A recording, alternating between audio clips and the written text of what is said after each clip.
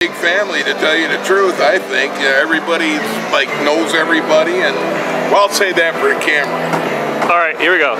Okay. So you were a Grizzly? Yes, Grizzly Brown from 94.5 WXKR Toledo, Ohio. So where did you get the name Grizzly from?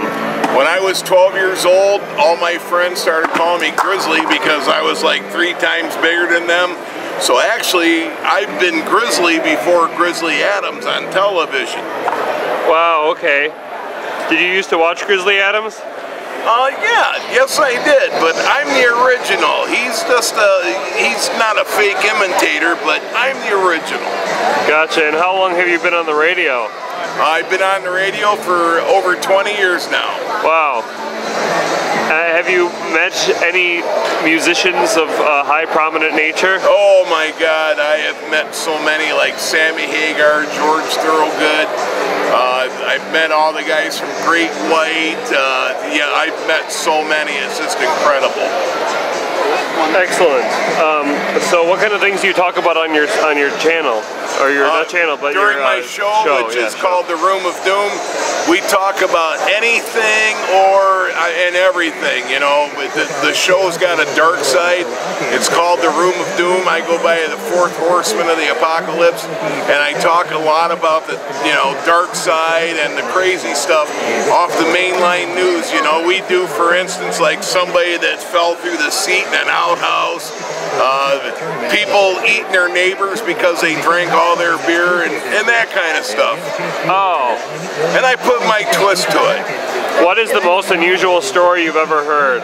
The most unusual story actually was uh, a lady who wanted to be famous. Uh, she spiked her boyfriend's drink, and when they went to bed, uh, she actually devoured about one third of him, and he actually lived.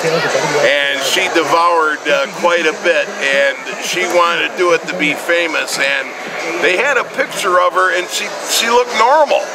I mean, in, in my rendition of normal, you know, but uh, she ate about a third of his body up. Alrighty. Um, now, if, if you could tell the world anything, the world out there, the whole entire world out there, what would you say? That's something I tell the whole world.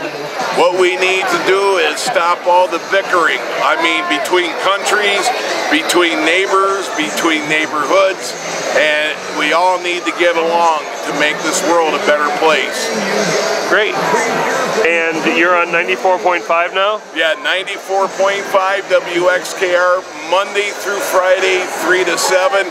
Saturdays, I do the uh, Saturday Classic Rock Cruise from 2 to 7. And you can also go to WXKR.com and you can listen to my show there as well. Now, do you have a favorite classic band or artist or group or anything? A favorite, maybe your favorite two? I would have to say my favorite classic band would be, uh, I would have to say it's uh, Pink Floyd and the Doors, a tie. And my favorite tune is Comfortably Numb by Pink Floyd. Great. Well, thank you so much for your time. Well, thank you. I appreciate it.